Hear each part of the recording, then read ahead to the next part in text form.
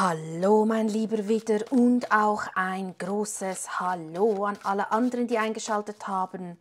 Lieber Widder, ich hoffe, euch geht es allen gut. Herzlich willkommen auf meinem Kanal Vika Stern. Wir schauen uns heute deine aktuellen Energien so ein bisschen an. Was möchte gesehen und gehört werden? Was ist zurzeit wichtig für dich? Lieber Witter, bitte denk daran, das ist eine allgemeine wie auch eine zeitlose Legung. Das heißt, nicht jede Nachricht wird wahrscheinlich für dich sein. Nimm darum wirklich nur das für dich heraus, was zu dir gehört und biege nichts zurecht. Lieber wieder, falls du dich für das Thema Karma, Lernaufgaben und Lebensaufgaben interessierst, folge mir gerne auf Instagram, wenn du magst. Dort spreche ich darüber und mache auch immer wieder kostenlose Impulsanalysen in der Instagram Story. Das letzte Mal war das das Thema Karma in der Liebe. Jetzt ist gerade das Thema Lebensaufgabe dran. Falls du nichts verpassen möchtest, schau gerne immer wieder mal rein oder lass eben gerne ein Abo da, würde mich sehr darüber freuen. Ja, lieber wieder, dann würde ich sagen, schauen wir mal in deine Energie rein. Lieber wieder. Was ist zurzeit wichtig für dich?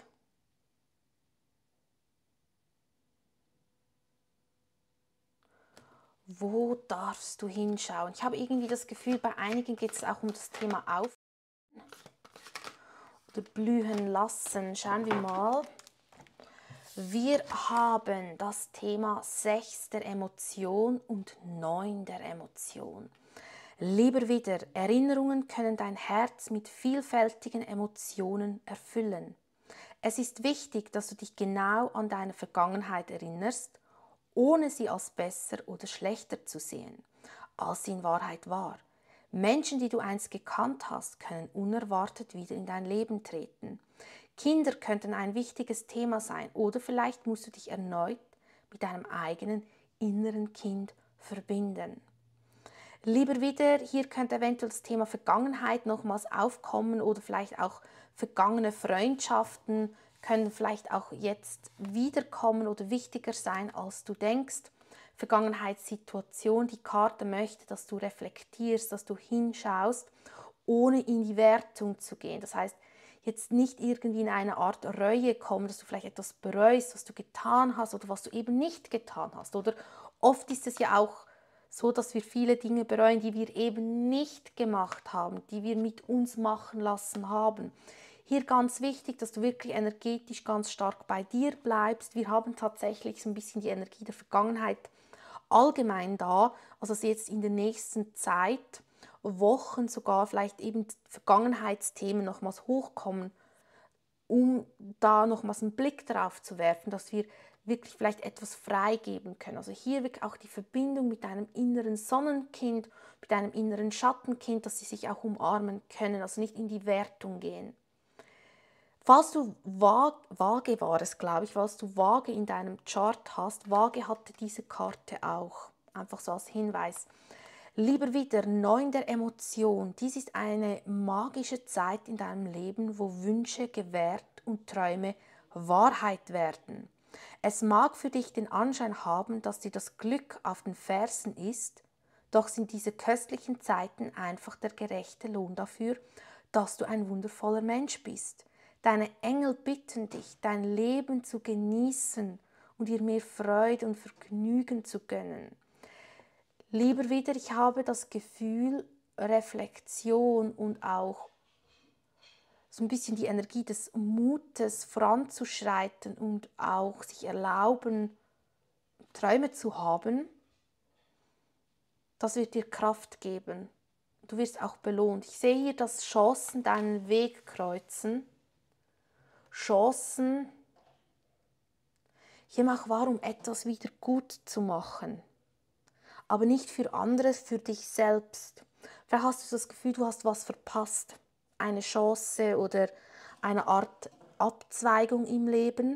Und vielleicht hast du auch das Gefühl, du hast irgendeinmal eine falsche Entscheidung getroffen. Eine, irgendeine Entscheidung, die schon länger her ist.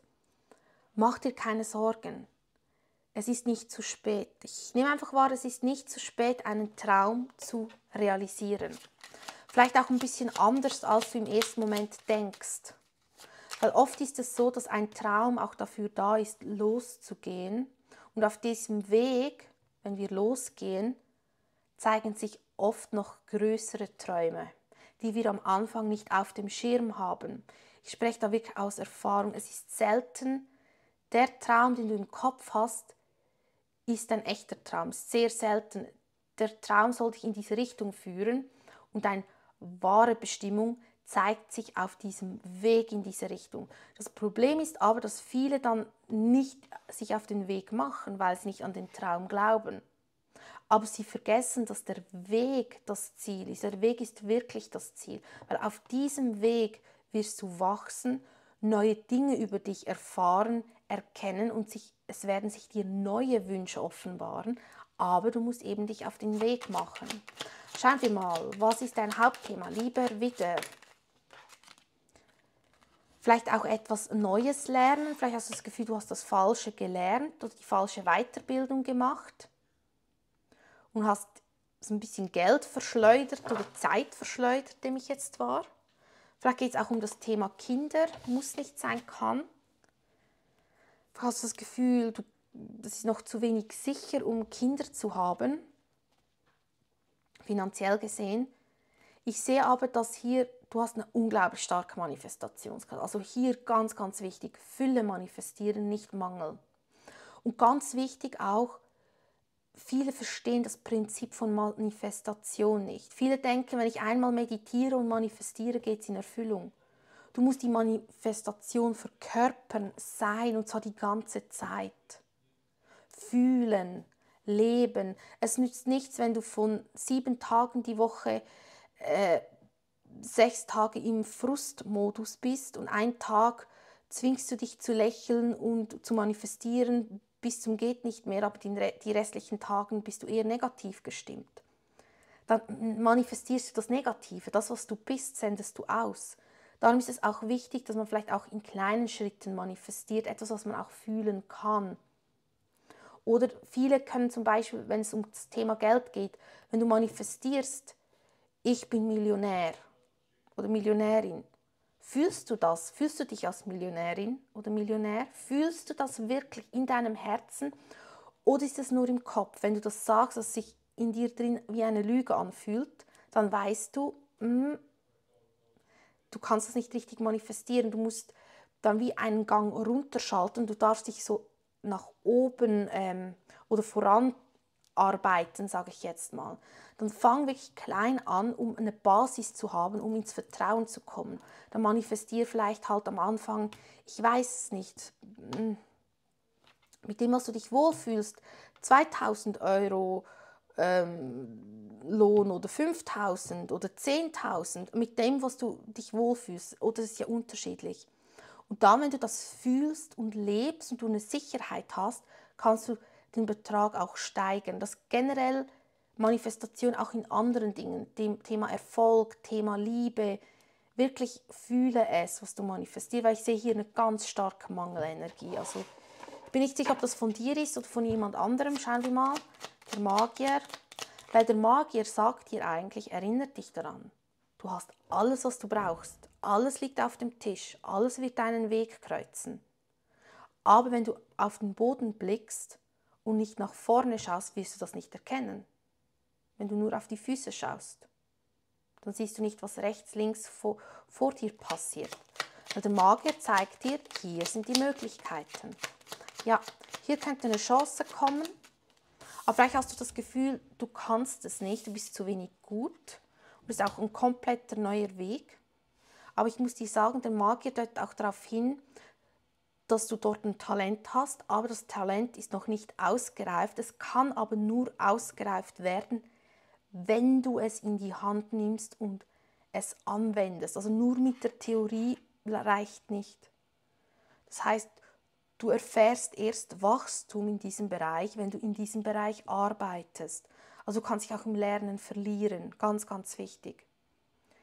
Manchmal kann das auch eine Sabotageenergie sein, weil wir Angst haben, uns zu zeigen in der Liebe könnte sich hier wirklich jemand Neues offenbaren, aber diese neue Person ist auf dem neuen Weg und ich sehe hier einfach noch eine leichte Mangelenergie, dass das Gefühl haben, festzustecken in einer Beziehung und ja, man sieht vielleicht auch keinen Ausweg bei einigen, nicht bei allen. Oder man wünscht sich etwas zurück, aber der neue Weg ist da, der alte Weg ist abgeschlossen. Schauen wir mal, was ist die Blockade, dein Stolperstein, die Liebenden und Bube der Kelche. Wow. Thema Herz, Thema aus dem Herzen entscheiden, aus dem Herzen leben, den Herzensweg gehen, Liebe zulassen. Das ist momentan etwas schwierig für dich, sehe ich. Hier sind Blockaden im Bereich Herz, nach dem Herzen, vielleicht auch das Herz fühlen. Vielleicht bist du sehr stark im Kopf und kannst dich wie nicht nach dem Herzen entscheiden, weil du vielleicht eben das Herz nicht fühlst oder diese Herzensflamme nicht wahrnimmst und dadurch nimmst du auch den Herzensweg nicht wahr oder bist dir nicht sicher, was der Herzensweg ist. Hier könnte auch eine neue Liebe kommen, auch wenn du in einer Partnerschaft bist und das könnte dich etwas verwirren. Und ich sehe einfach, dass die, das Universum möchte, dass du mehr nach dem Herzen lebst raus aus dem Verstand, raus aus was gehört sich, was muss ich machen, was ist logisch, sondern wirklich mehr aus Liebe. Und Liebe ist ja rein und ja und bedingungslos. Also wirklich aus dieser reinen Energie handeln. Ich sehe auch, dass einige eben zwischen zwei Menschen stehen oder zwischen zwei Welten. Für welche Welt entscheide ich mich? Für welche Welt? die Welt, die alle vielleicht von mir erwarten oder für die Welt, wo mein Herz aufgeht. Für welche Welt entscheide ich mich? Da sehe ich eine ganz große äh, Herausforderung. Ja, und Sabotage. Kann auch sein, dass einige Personen dir das ein bisschen schlecht reden oder ausreden wollen, weil sie das nicht verstehen oder irgendwo einen Cut machen. Wo belügst du dich selbst? Was noch ähm, Spezielles ist wie, ich sage dir vielleicht ein Beispiel, dass du weißt, was ich meine. ist wie sagen wir mal, du hast jetzt vielleicht zehn Jahre oder 20 Jahre für ein Berufsfeld investiert. Sagen wir Thema Finanzen, Buchhaltung, du hast dich dort weitergebildet, bist beruflich aufgestiegen und jetzt plötzlich merkst du, oha, eigentlich würde dein, dein Herz im Bereich Energiearbeit aufgehen und nicht im Bereich Finanzen. Jetzt braucht es natürlich extrem viel Mut, nach 20 Jahren zu sagen, hey, ich mache hier einen Cut. Ich möchte meinen mega guten Job, äh, bezahlten Job auflösen, damit ich innere Freiheit leben kann. Das ist nicht einfach. So etwas könnte kommen, muss nicht, aber etwas in diesem, so ein bisschen auf dieser Art habe ich das Gefühl. Oder etwas wie sich für eine Welt entscheiden, auch in der Liebe. Schauen wir mal, was kommt sonst noch wieder. Mhm, da hier ist kein Stopp. Wieder. Hm, hier ist auch kein Stopp. Bitte. Bitte. Vier der Stäbe. Ui. Ui. Rat des Schicksals. Toll. Ich habe das Gefühl, eine neue Welt ist genau deines ist für dich. Aber es braucht Mut. Sehr viel Mut. Sehr, sehr viel Mut. Ich sehe hier neun der Schwerter, Rat des Schicksals, vier Stäbe und zwei der Münzen. Es wird dich immer wieder Zweifel einholen. Mache ich das richtig? Habe ich jetzt richtig entschieden? Das geht doch nicht. Ich muss doch so und so sich Vorwürfe machen, sich vielleicht auch Angst haben, äh, sich nicht gerecht werden. Kann auch sein, dass du vielleicht ein Kind hast und jetzt entscheidest du dich dafür, kein zweites Kind zu haben, weil du dich vielleicht beruflich weiterentwickeln möchtest. Und jetzt kommen rechts und links, oh nein, das arme Kind ist alleine, das braucht doch ein Geschwisterchen, aber du fühlst, nein, es braucht kein Geschwisterchen. Es ist okay so. Es ist jetzt Zeit, meinen Herzensweg zu gehen und dies dient auch dem Kind. Aber alle rundherum verstehen das vielleicht nicht. Das irgendwie so kann es auch sein. Eben das Thema Familie kann betroffen sein, Thema Selbstverwirklichung, Thema Partnerschaft, weil es ist wie, welche Welt nimmst du jetzt? Die Welt der Erwartung, was sich so gehört, oder die Welt des Herzens? Selbstverwirklichung zum Beispiel. Also hier wirklich auch Zweifel haben, sich vielleicht ein schlechtes Gewissen haben, unsicher sein, kann ich das, geht das, finanziell, oh nein, also sich wirklich einen riesen Kopf machen, obwohl das nicht nötig ist. Du weißt, was das Richtige ist. Ich sehe hier auch, dass es Zeit ist für diesen Umbruch. Hier kommt eben dieser Umbruch. Kann auch sein, dass du ein Zeichen bekommst, dass du vielleicht auch eine Begegnung hast oder Gespräche hast. Und diese Begegnung, es könnte auch ein Zeichen sein, gib dir Halt. Weil hier möchte eine Basis entstehen. Gib dir Halt, aber es kann am Anfang ein bisschen viel sein. Einfach diese, dieser Übergang ist nicht ohne. Unterschätze den Übergang nicht in die neue Welt. Die ist nicht ohne, kann ich dir jetzt schon sagen. Es braucht wahrscheinlich äh, Vorbereitungen und Stück für Stück. Es kann auch sein, dass ab und zu ein Test kommt vom Universum, ob du nicht wieder in die alte Welt zurückgehst. Also der Übergang ist wirklich nicht ohne.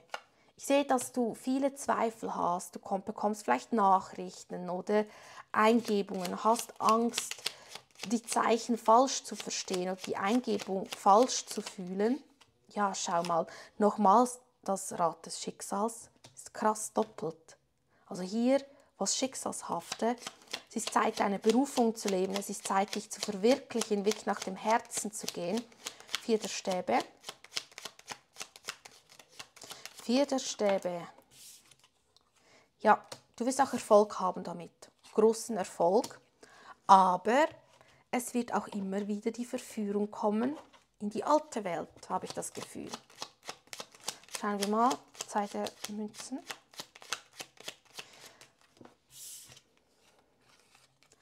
König der Kelche und König der Stäbe. Eben vielleicht geht es auch um zwei Personen, zwei Welten, ich nehme aber auch wahr, dass du Feuer, Feuer lebst und diese Tiefe gleichzeitig hast bei dieser neuen Welt. Aber das zu vereinen mit der alten Welt ist eben nicht so einfach. Also hier, du darfst wirklich für dich Schritt für Schritt dein Tempo finden in diese neue Richtung. Unterschätze aber den Übergang nicht. Das muss dir einfach bewusst sein. Ich glaube, wenn dir das bewusst ist, dann ist es auch okay. Was ist der Rat? Wir haben neun der Kelche. Hier könnte sich eben auch ein Wunsch zeigen. Als Rat folge, deine, folge deinen Träumen, also folge dem, was dich glücklich macht. Also wirklich nimm das an. Sei Feuer und Flamme. Wo ist dein Lebensfeuer? Was, wo fühlst du, als könntest du Berge versetzen? Was macht dich glücklich? Wo fühlst du dich voll in deiner Kraft? Ein ganz wichtiges Zeichen bei Widder ist, wenn ein Widder nicht die Energie lebt, kann sich das meistens in zwei Arten zeigen. Also die eine Art ist wirklich, dass man wird sehr krass müde, weil eigentlich ein Widder ist nicht müde. Sehr viel Mü also Müdigkeit ganz stark und man hat eine leise Stimme sehr leise und eine schüchterne Stimme. Das heißt, man ist auch ein People-Pleaser. Es kann sich so zeigen, also extremes People-Pleasing, Müdigkeit, keine Kraft haben. Oder was es auch sein kann, ist, dass die ganze Kraft runtergeschluckt wird und zentriert wird und manchmal äh, platzt man wie eine Bombe. Also dass man plötzlich so aggressive äh, launische Phasen hat, dass plötzlich alles rauskommt. Das ist, weil man viel unterdrückt hat. Das ist der Schatten vom Widder. Was ist der Schatten? Was siehst du nicht? Ja, Sabotage. Lass dich nicht sabotieren, lass dich nicht manipulieren, sonst könnte es sein, dass diese neue Welt verzögert wird.